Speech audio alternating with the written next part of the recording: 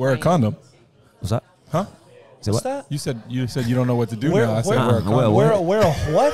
That's like eating turkey. Wear a what? That's like eating turkey bacon, bro. Wearing the condoms like eating turkey bacon. Like, have you like, have you have you ate turkey bacon? Unfortunately. It's healthier for you. Yeah. all that good stuff. Uh-huh. And it's nasty, right? Have you had real bacon before?